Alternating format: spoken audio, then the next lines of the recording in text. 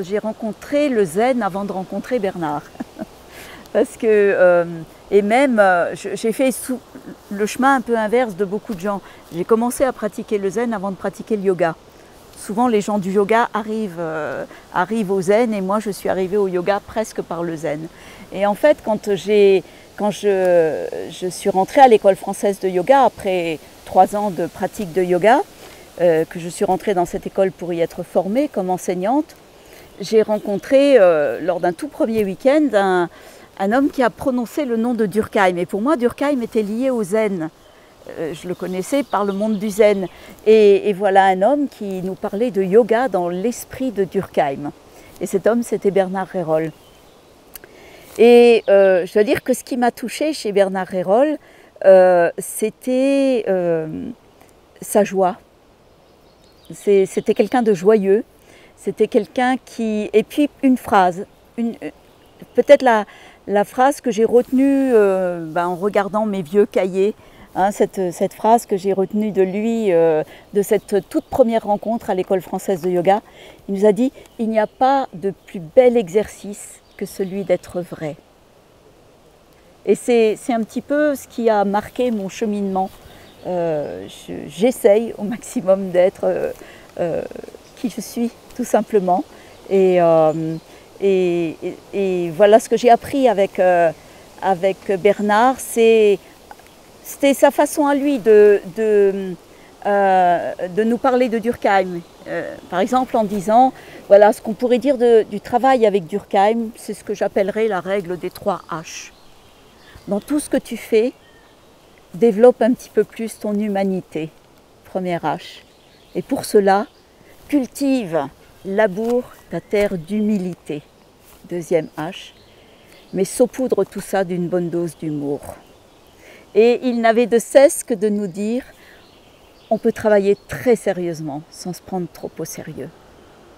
Et voilà, ce qui m'a beaucoup, vraiment ce qui a fait que j'ai choisi de travailler avec lui plutôt qu'avec un autre enseignant, c'est euh, qu'on riait beaucoup.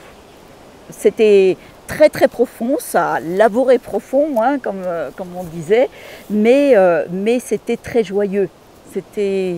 Euh, c'est une chose qui, moi, me porte depuis l'enfance, cette, cette joie que j'ai reçue en héritage. Voilà. Ça, je remercie mes parents et, je, crois que je suis profondément joyeuse. Et donc, ça m'a ça m'a touché de rencontrer quelqu'un qui parlait ce langage-là.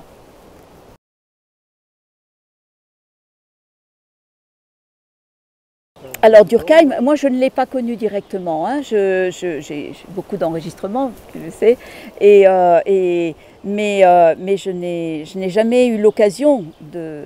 Bon, quand, euh, quand j'étais à l'école française de yoga, il était encore vivant, et je, et, mais, mais moi j'avais des petits enfants, donc je partais pas comme je, comme c'était pas facile de partir. J'habitais en province. Donc je, n'ai connu euh, Durkheim que par Bernard et par les enregistrements que Bernard me donnait. Mais euh, je crois que Durkheim était, quelqu'un qui aimait rire et qui aimait faire des farces. En tout cas, si on, en croit euh, Jacques Casterman, il raconte ça souvent, hein, que, Durkheim aimait bien, faire des farces il était assez farceur. Et qu'il était très touché par justement dans le zen par, euh, par les, ces moines au cœur d'enfants comme Ryokan par exemple, hein, euh, euh, qui, est un... je ne sais pas si tu connais un petit peu Ryokan, c'est un, moine dont on, dont on, disait le moine au cœur d'enfant justement. Et, donc, cette, parce que bah, les, écritures sont là pour nous le dire aussi, hein, c'est qu'il il faut retrouver son cœur d'enfant pour entrer au paradis. Euh, et, que donc, si on, euh, plutôt que d'avoir à le retrouver, essayons de ne pas le perdre. Et, c'était dans, la joie, il y, a, ça aussi pour moi, cette capacité de ne pas oublier l'enfant que nous sommes dans notre profondeur.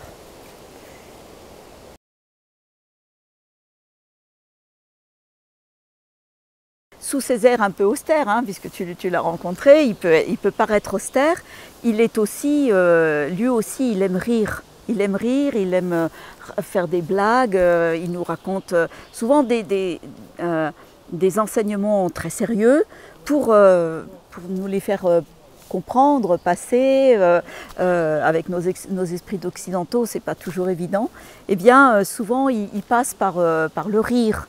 Et, on, a des, on, a des, souvenirs de, de, sessions de zen où on a vraiment beaucoup ri. parce que, parce que et c'est un, un des grands fondements du zen. Hein, il y a des, livres entiers qui ont été écrits sur le, rire du tigre et, euh, sur, euh, sur, cette capacité de, rire euh, dans, le, dans, le, zen. Parce que justement, euh, si, on, si, on, arrive à, à être l'enfant qu'on est, et si on arrive à ne pas le perdre, beaucoup de choses se font par le rire. Voilà.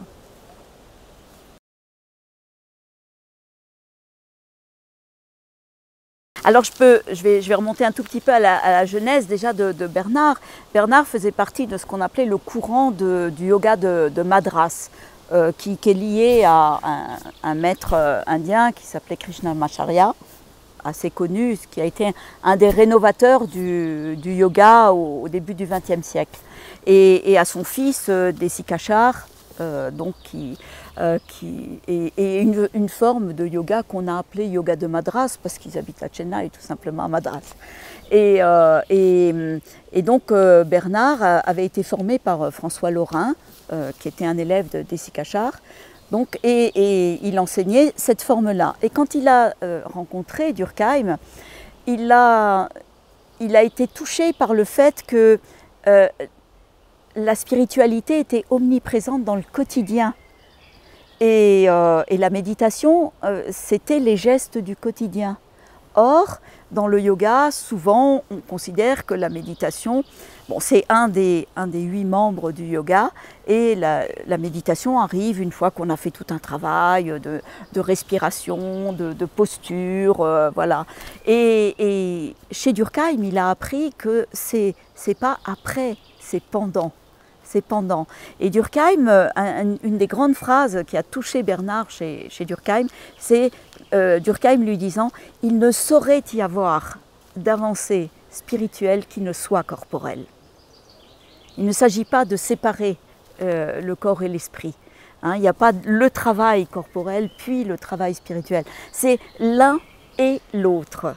Et, et, et le corps, c'est l'esprit, et l'esprit, c'est le corps. Et les, Japonais le disent en disant Shinshinitai, le cœur, le corps, cœur, c'est aussi esprit, hein, le cœur et le corps sont un seul corps.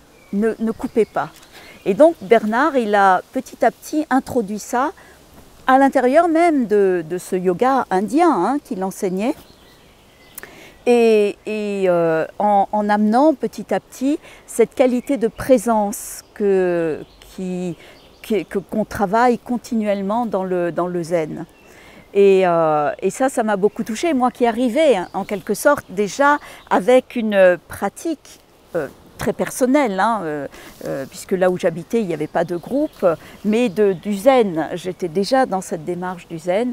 Et là, je rencontre quelqu'un qui, qui, qui fait en quelque sorte le lien vraiment en, le tissage, hein, quand je mets mes doigts comme ça, c'est vraiment le tissage entre la, la pratique du yoga et, euh, et, cette pratique du zen qu'il qu euh, euh, qu avait découverte chez, chez Durkheim et qu'il a peaufiné après en allant au Japon.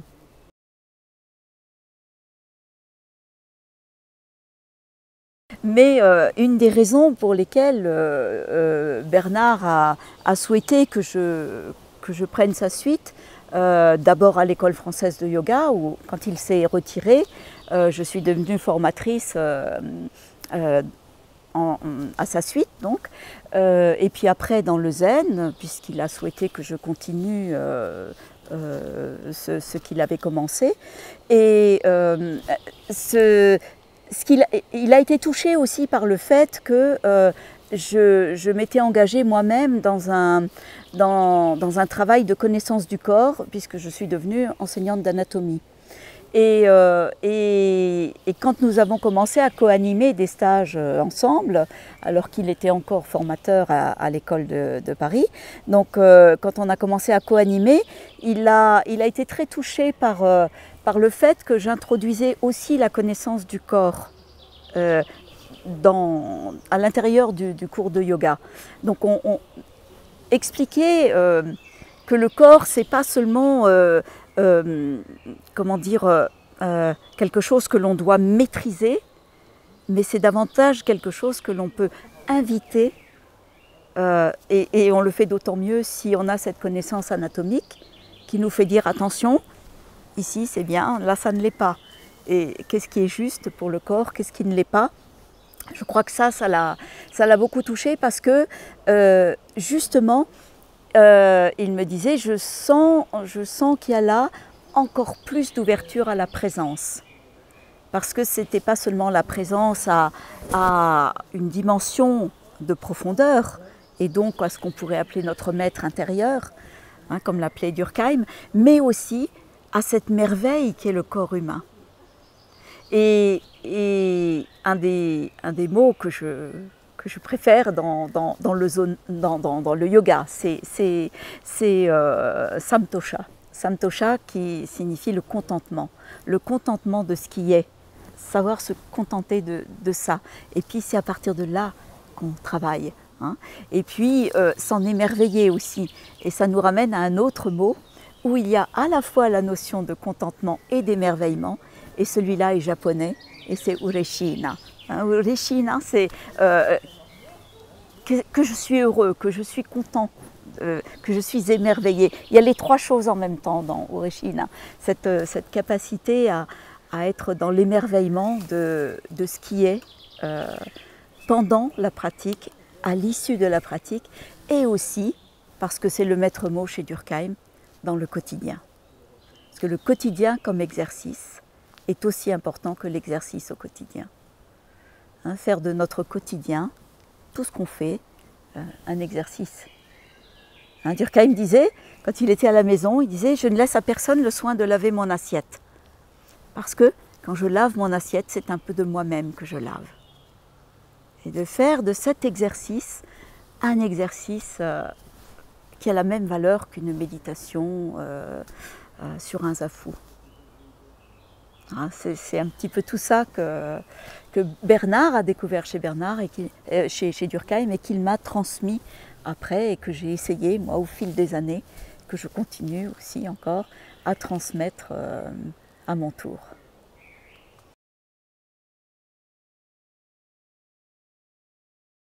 Je retiens de Bernard, c'est vraiment sa joie, sa joie et son, humilité, il était très humble. Et, il disait quelquefois, euh, sous prétexte que je suis prêtre, euh, on, dit, on pense que je suis un pro de la spiritualité. Et il euh, il me prenait par la main et disait, viens, on rentre à la maison. Et on allait s'asseoir sur notre coussin. rentrer à la maison, c'est rentrer en soi-même, simplement. Et il disait, il n'y a pas de pro de la spiritualité, il y a seulement des gens qui cheminent. Et, Durkheim, d'ailleurs, à propos du chemin, je ne sais pas si tu connais cette expression, si l'un ou l'autre t'en ont parlé dans les, différents reportages que tu as faits. Euh, un jour, quelqu'un demandait à Durkheim euh, Comment reconnaît-on un maître d'un disciple? Et Durkheim aurait répondu Les deux marchent sur le même chemin. L'un sent plus les cailloux que l'autre. C'est très zen ça, hein, parce que Est-ce que, voilà, l'un sent plus les cailloux du chemin que l'autre? Lequel est-ce? C'est un koan, quelque part. À ruminer. Et juste pour la petite histoire, hein, euh, euh, j'ai appris, euh, j'ai appris en préparant des stages, parce que quand je prépare des stages, je fouille un peu dans tous les sens. Et je faisais un stage il y a quelques années qui s'appelait Bon pied, bon oeil. Et euh, donc je cherche des tas de choses autour du pied, autour de l'œil. Bon. Et dans mes recherches autour du pied, euh, je trouve euh, enfin, l'origine du mot scrupule. Le scrupule, c'était le petit caillou qui s'était introduit dans la sandale. Initialement, c'était ça un scrupule. Voilà. Juste, je ferme la parenthèse. C'était la petite histoire.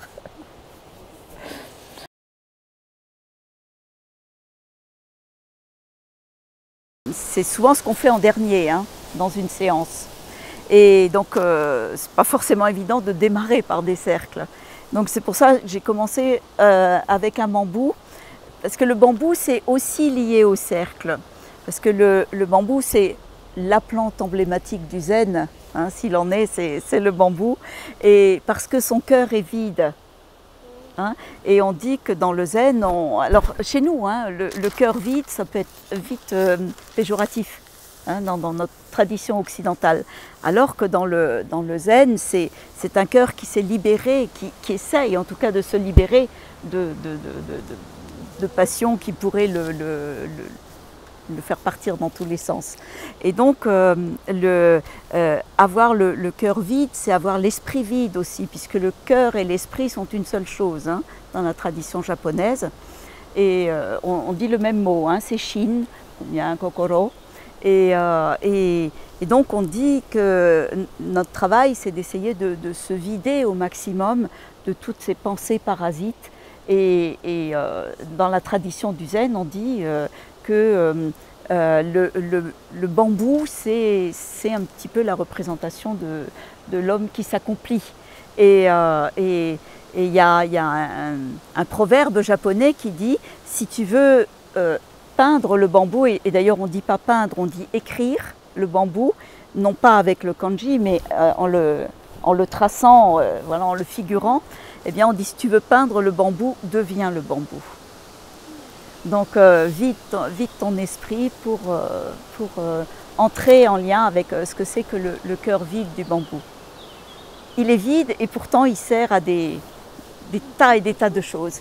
Hein, c'est une des plantes les plus utilisées dans, dans, le monde pour des, choses différentes, hein, puisque on le mange aussi bien qu'on s'en sert pour, euh, pour bâtir des maisons que pour, euh, que pour euh, aussi pour, pour, jouer de la, musique, pour, pour, pour s'en servir de vaisselle. Il sert à tout le bambou. Quand tu dis le cœur est vide, est-ce que c'est une forme de.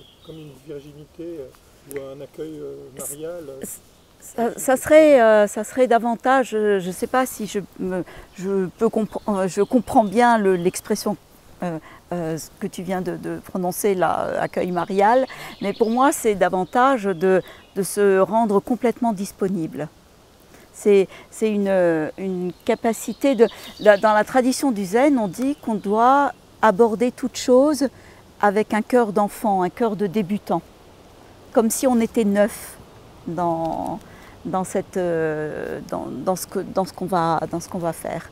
On est riche hein, de tout ce qu'on a appris, de tout ce qu'on a expérimenté, de tout ce qu'on a vécu euh, depuis, depuis notre euh, toute petite enfance, et peut-être même avant, hein, dont nous n'avons pas forcément le souvenir. Mais, mais, mais en même temps, il ne faut pas que ce qui, ce qui est notre de l'ordre de la transmission, hein, ce qui nous a été donné et transmis, euh, euh, euh, nous fasse oublier qu'on euh, est tous créatifs et quelque part, euh, on doit aussi euh, exprimer qui on est dans ce qu'on qu fait. C'est pour ça qu'il faut aussi arriver avec un cœur neuf. Hein, il y a, cette double chose, hein, de ne pas être encombré par des tas de, choses négatives, des il faut, des on devrait, des euh, voilà, mais aussi euh, cette idée de se rendre aussi disponible à ce qui peut surgir dans l'instant. Hein. Et très souvent dans le zen d'ailleurs, euh, quand on travaille, par exemple quand j'enseigne la calligraphie, ça se fait pas comme ça de prime abord, mais au bout d'un moment, on trace les cercles les yeux fermés. Justement avec cette idée que c'est pas grave si ça déborde de, du papier. Est-ce que tu es vraiment là? Hein, C'est l'histoire d'être présent dans, ce qu'on fait. Et, et, de se dire que même si on a déjà fait euh, des milliers de cercles auparavant, il n'y a que celui-là qui compte. Parce qu'il n'y a que cet instant-là qu'on vive.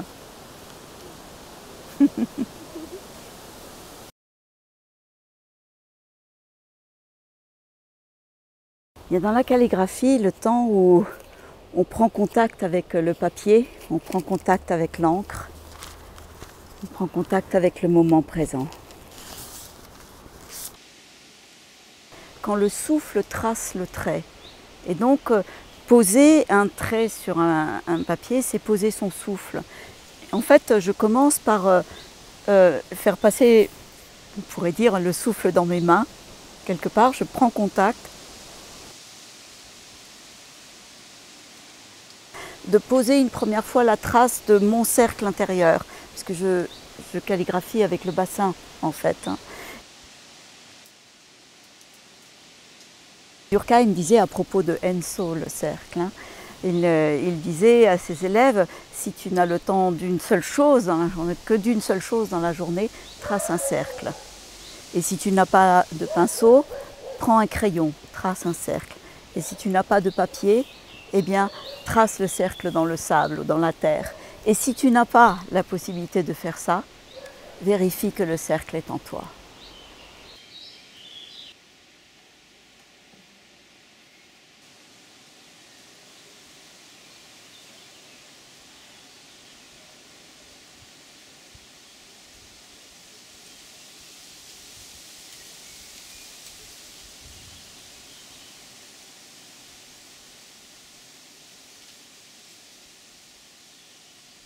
Eh bien on dit si tu veux peindre le bambou, deviens le bambou. Donc euh, vide, ton esprit pour, euh, pour euh, entrer en lien avec ce que c'est que le, cœur vide du bambou.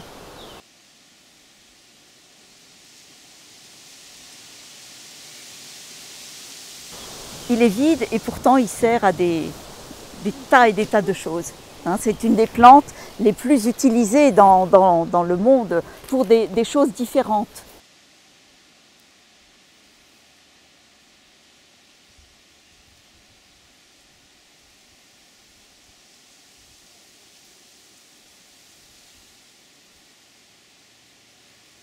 Dans la tradition du zen, on dit qu'on doit aborder toute chose avec un cœur d'enfant, un cœur de débutant, comme si on était neuf.